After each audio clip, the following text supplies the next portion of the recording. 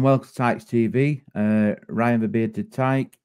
Uh, uh, appreciate taking time out, mate. Uh, I know it's busy and that. Uh, big game coming up. We've got, you know, a small match of Derby County coming up on Saturday. So I think everybody's excited for that.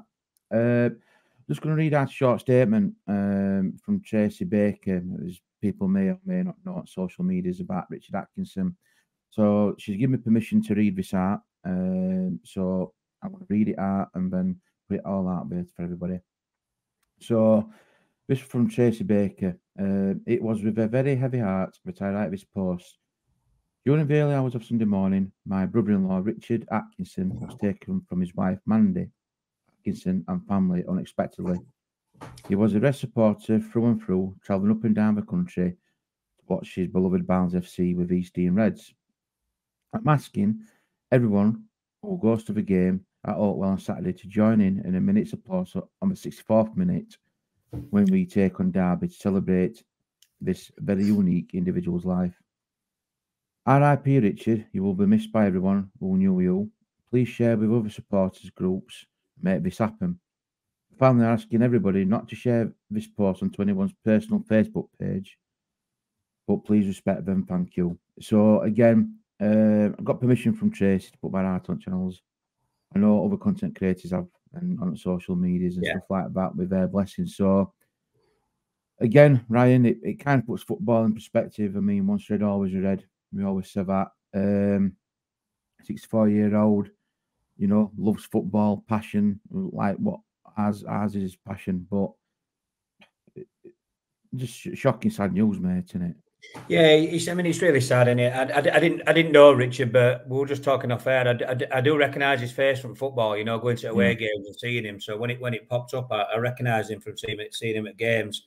Although mm. I've never I've never actually met him, but it's it's really sad, mate. It's it's just really sad.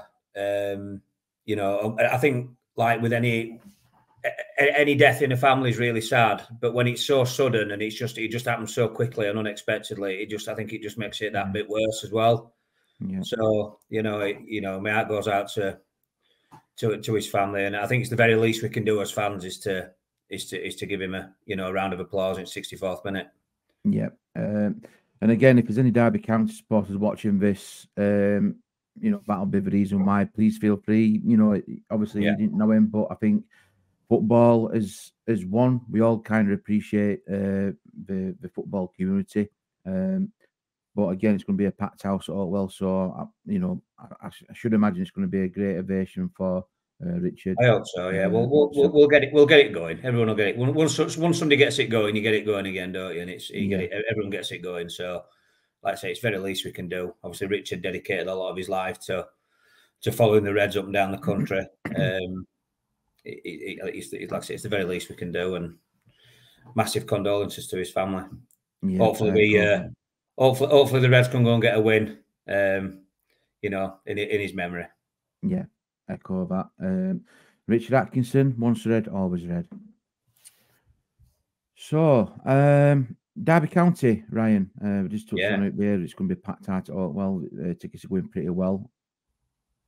What I mean, what can you say about this? What has been said, it's a massive, massive game, and I think for both sides, really, in different respects, where Derby are in second spot, uh, 66. We're on uh, fourth on 60. Could you see this as a game similar to the one to like the Ipswich game last season, where uh, yeah, this we need to get a result, otherwise that gap just gets a bit more uh, bigger, uh, Ryan.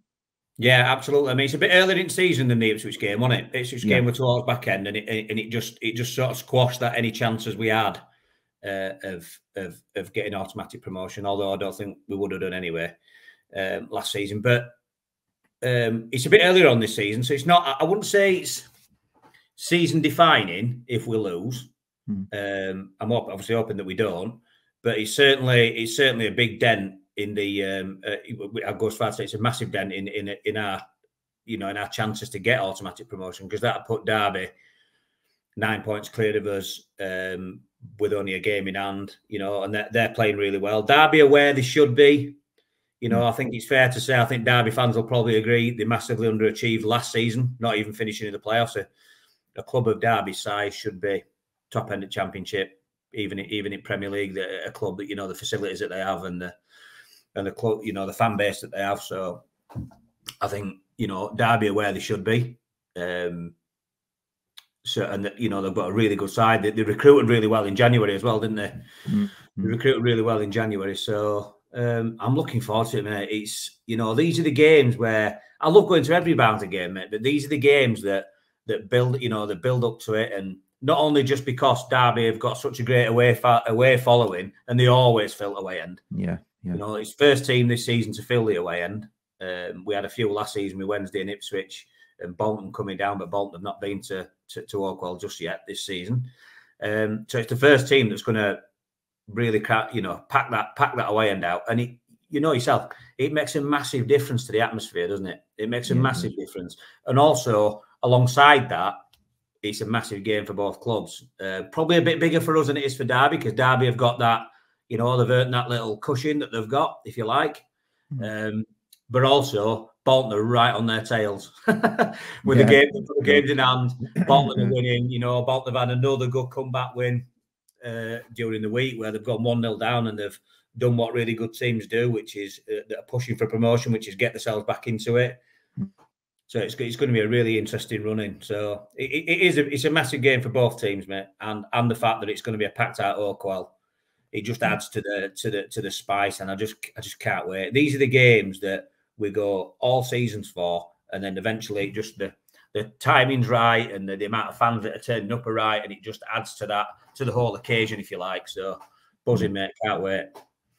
Yeah, I mean, I love it when such as like you said, Derby, you you know, your Boltons, like last season, you know, packed out. Uh, it makes a difference and it makes a better atmosphere as well within, you know, because you get back banter. No disrespect when, you know, you get your other teams coming up and a, couple of hundred. It's it's hard to get the banter and the rivalry going, but when it's when you see it wind and it's packed out, it's a better buzz, it's a better atmosphere. And I yeah. think it makes for night, uh, makes for the game, regardless if it's been night or afternoon, even better. Uh, you know, and it's like I think to it up our game as as players is in like I won't say a cauldron, but it's like more intense. If there's a better atmosphere there, oh, yeah. we as fans appreciate that as well. And surely we that transcends onto pitch with players and they, they want to up it for fans and you've got to you've got to will as well to be fair yeah. yeah. you've got to think that neil you've got to think that the fans are going to be uh, sorry the players are going to be absolutely buzzing about this saturday mm. you know we've not we've not had them we've not it's not it's not been empty as well but it's been it's not been as full as it could have been it's certainly not been as up to this point it's not been as many fans as there was sort of last season i won't mm. say I might be wrong with the averages. I'm not. I'm, I'm not sure, but it, it, just appears a bit that way. Yeah. Um, maybe it's because we haven't had as many. There's not as many big teams in the division this season, so there's not been as many non-season ticket holding fans turning up to these to these bigger games, if you like. Mm. Um, but as players, you've got to imagine these are the games that we're playing. You know what I mean? These are the games that they, they, they put all the effort in throughout the season to get to these big games, to get to these big games where there's a lot on the line. It's going to be packed. Atmosphere is going to be raucous. I wouldn't say it's a local derby, but it's you know we're not, we're not it too feels like it to be fair though. Yeah, it is a bit of a derby. You know, it is a bit of a derby because like you know it's Yorkshire, it's Yorkshire against Derbyshire, and yeah, there's a whole coal mining thing that went on in the in the eighties. There's that there's that sort of thing there, and so it's going to be exciting, mate. It's going to be really exciting, and I, and, and I'm really looking forward to it. And I think you know I would probably get to a final frontier, but championship if we want to get in there, whether it be playoffs or automatic, yeah. you know, because you're looking at table with points wise. But when you're in championship, no respect, you've got bigger teams in there, and, yeah. and I, I, I, like the. I'm trying to word it where it's like not disrespectful to League One, but you you go in the championship. There is bigger clubs in there. They've come down to Premiership. They've got uh, uh you know bigger fan base, followings, and that. And I think that's what us as fans you you you can get back like more yeah. raucous sort of atmosphere and you can get behind lads and it's a bit harder when there's like a, smaller way following. And it's like, mm. yeah, I mean, we've seen it when Barnsley go away. Great following support we take away. And I think we make that atmosphere, if you know what I mean, with Barnsley yeah. going away. Absolutely. You, you got to think it, sometimes you look at that away end and you think, is it too big? Did they make it too big? But mm. it's not. It's only too big for League One. Because if mm. you look at Championship, how many teams come and either fill it or nearly fill it. Yeah. You know, past, you, usually Derby are championship teams. So you're looking at your teams like Derby, one or if not both the Sheffield, uh, Sheffield team. So United and Wednesday. Leeds, if Leeds are in the championship, they'll fill it. Leicester will fill it. Middlesbrough will fill it. Sunderland, Sunderland will fill it. Yeah. You know, Birmingham always bring a really good following. You know, all these teams that are in there, that then that that's when the away end obviously makes sense. And it were always built it were built for that, weren't it? After we come out of the Premier League, it were built for that because yeah. our away end when we were in Prem weren't that big and it were always full. And the hmm. idea was that we were going to get back in the Prem. We've not achieved it since, but you know, but then it makes that away and then makes sense, doesn't it? It's just in League yeah, One, obviously, yeah. the size of the clubs that are in, you know, the, the, size of the clubs that are in League One, the vast majority of them just don't have an overall following, never mind that kind of away following as well. Um, mm. So obviously, it, it, the numbers dwindle a bit, but um, and for me, that's one of the worst things about being in League One is is is the away following is never that it's never that big, is it? and it mm. doesn't it doesn't lend itself for that for that for that atmosphere. Whereas it, I said I said last season when it when we were in League One, sometimes the atmosphere were better in the Championship when we were struggling than when we were in League One doing well. And I think a lot of that is to do what you mentioned earlier, Neil, is about the away following.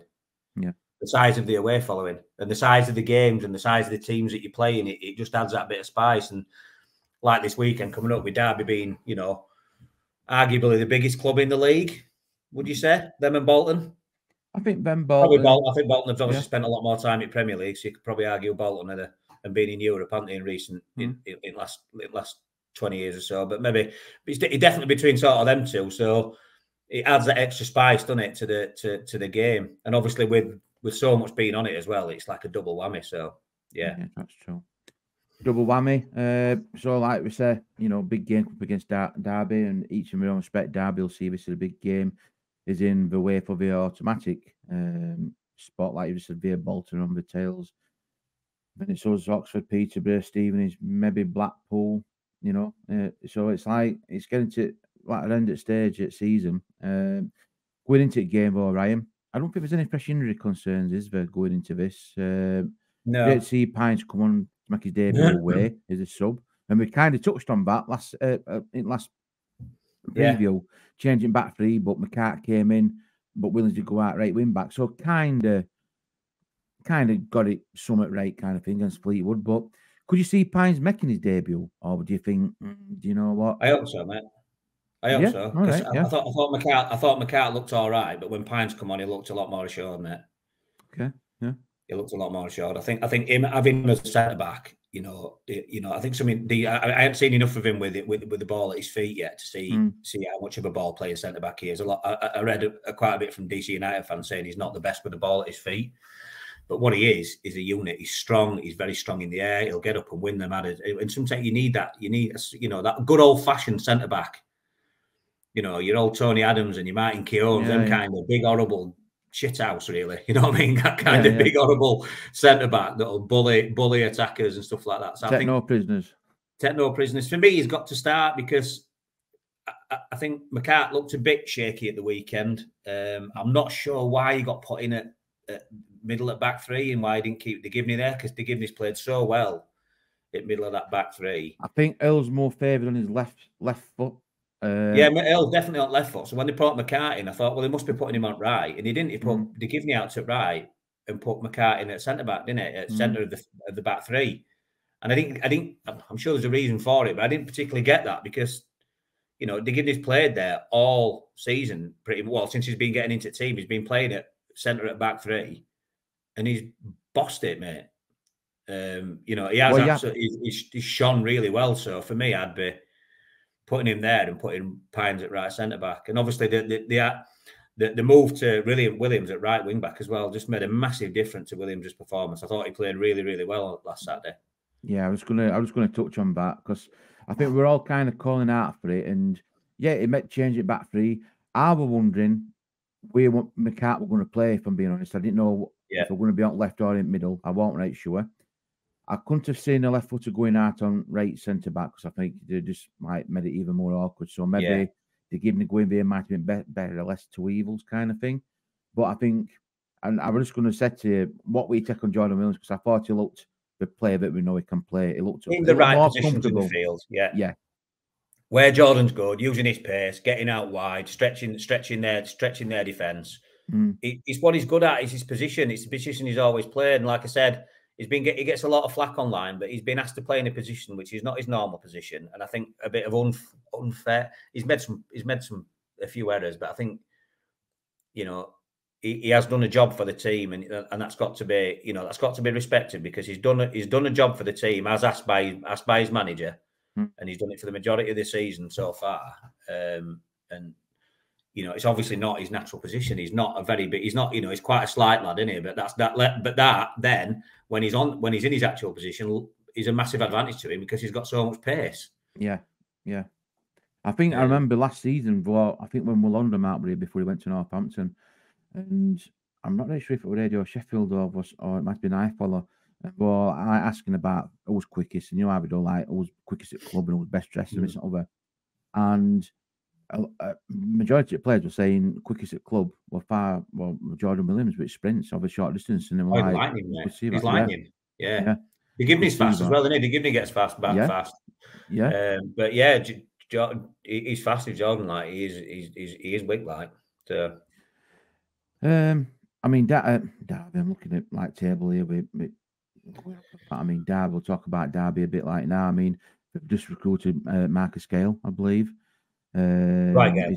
Yeah, Dwight Gayle. Sorry, Marcus yeah. Gayle, Dwight Gayle, Gayle, all of it. Shop. Uh, yeah, Dwight Gayle. Again, a lot of people like saying, "Oh, he could cause us trouble." And this over. I'm thinking, mm, I don't think he'd be going straight into the side straight I away. don't think he'd be going straight in, mate. You've got to imagine. I think that I think there'd be some upset uh, Derby players, first first mm. eleven, if they just brought brought Dwight Gayle in and stuck him in first eleven. Mm. You think, hang on a minute, he just turned up at club and he just gets straight in. You know what I mean? I think I think you'd I think you'd ruffle a few feathers.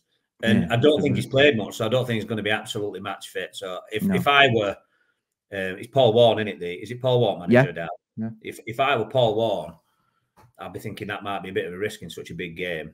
Um, it'd probably be coming on as a sub at best. But I don't think it. I don't personally. I don't think he'd be match fit. But hmm. you know, if they've got him at end of season and they're probably paying him should we say extortionate wages? yeah, I think it's a good addition for Derby. There, you know, it's probably only Derby that uh, that could afford his wages in this league, and it's only about end of season, so they're going to want they are going to want to use him. Obviously, they're paying him a lot of money, but whether he'll come think, into first eleven or not, I, I want I wouldn't have imagined. If you think the the front line that Derby have got, I don't think they need him to come straight in. I think it's a good addition to add to to add to ranks for that stage of the season, just to come on as a, even as an impact yeah. sub you know, and Nick odd goal here and there. You never know because he's he's been very, you know, he's, he's been about he's it. yeah. yeah, he's done know? it. So like, he's done like, it in EFL, hasn't he? So yeah, why why not? Just thought like last few games remaining, you know, he could come off the bench and make a difference. So remember remember him scoring a couple against us uh, when he were at Newcastle. At Newcastle, Newcastle. in Championship, I think he scored both, didn't he? Yeah, I think yeah, the beat us two yeah. when Rafa was manager. Yeah, yeah, Rafa Benítez. 17 18 season, I think. I might have been 17 18 that season when Rafa they, they dropped down. And yeah. I think he's got both, yeah. Yeah, see, Rafa it up. Oh, crazy. going from one striker to another, then. I mean, we're going back to Barnsley. Um, Cosgrove started, a few question marks on that, but, you know, trusting what uh, Collins said after is that he thought it well, one of them pitches really well, one of them what needed to be up. Fair play. Cosgrove got a goal. Uh, so he can't question his tactics on that. Yeah. And maybe it was, you know, a thought in mind that it might be keeping McAtee a bit fresh, a bit fit for getting coming up against Derby? Could you see yeah. changes being made for like that? We've on about Pines, obviously. Could you see yeah, McAtee starting for Cosgrove? I'd, I'd expect to see McAtee coming for Cosgrove, mate. Not not because I, I you know, I think it's it, great to see Sam get his first that goal. Not his yeah. first goal, but his a, first proper goal, shall we say? goal of season, other one. it was a great, a great move actually, because again, when when it happened, that's the weekend. Um, when he scored that, I said that is because Williams is right, right wing back. I'm not having to go yeah. O'Keeffe or O'Cotter, but they wouldn't have seen that and they wouldn't have been in that position because that ball goes straight, straight across the area from Cadden from left, yeah. comes in across. Nobody's on it, but Williams has spotted it and he's used his pace. He's got right down to the byline and he's there to pick that to pick that mm. spare mm. ball up. Um, and then he slotted it back to uh, to uh, uh Phillips. I mean, Phillips did it first time. It was a yeah, great goal. Is it? Is it Williams did it first time? Mm. did it first time, and then Cosgrove's got a great header, and the keeper's got no chance. So really pleased for Sam to get that goal because I I think people saying he's no good and stuff. I'm see I don't see that. I see I see a really good player in there, mate, and I think he's a really versatile player. Um, He just needs to add goals, and I think once he gets one, he'll start getting a few. Yeah. So you got you got to you know to take that off to um, to Collins because when I saw it and saw McAtee weren't in team, I thought, hmm, is that is it is it is it because he's tired or what? But obviously it was mm. a tactical thing, and it and can't argue with it. It paid off, didn't it? So yeah, yeah, fair play to. Having said that, uh, against Derby, I think we'd be using McAtee's pace. I think would be if we're playing at home. I think using McAtee's pace against their defence would be mm, um, will be right, right, will be right call. So hopefully that's that's what happens. Yeah, I was going to say like team lineups, but I think we're more or less uh, agreed on that. You know, you're on about and about McAtee for Cosgrove. So apart from that, and I ain't heard about any injuries or like that. I can't see hotels being changed. I don't think there's any need no. to be changed. You know, start thinking about the out. Uh, going to be going to score predictions on this one. This is going to be oh. a, a, tricky one. This. Um, it's going to be tight, mate. I mean, listen, yeah. we give we give we give him a bit of an hiding last year, four one. Um, mm. Uh, we, we, we played so so well that day, and I'd, I'd, I'd, bite your arm, I'd bite your hand off if I could get that again. Oh, um, yeah. I, don't, I, don't, think that'll happen again. Um, I think that when we play it as best, you know, as, as, as we've proved against some uh, the, the, bigger teams this year, we, we we we can play some really good football and we can compete with anybody. Hmm. Uh, you know, if we and if we took his chances away, we've we've got a really good chance of beating him. It's it's going to be really tight. So I'm not going to say anything ridiculous. Will we concede? Yeah, probably. Um, we don't seem to, be to to you know get that get that clean sheet. I think the only clean sheet we've had in in Christ knows how many games is is the Oxford one, wasn't it? But um, and that will that will look that will look more than judgment. So, uh, God, I've got to go for a Barnsley win. I, I mean, it could easily mm. it could easily be a draw. If we're off his game, we could easily get beat by Derby. Obviously, they've got a really good team, um, but obviously I, I want to see us win, and I, and I believe that we can win.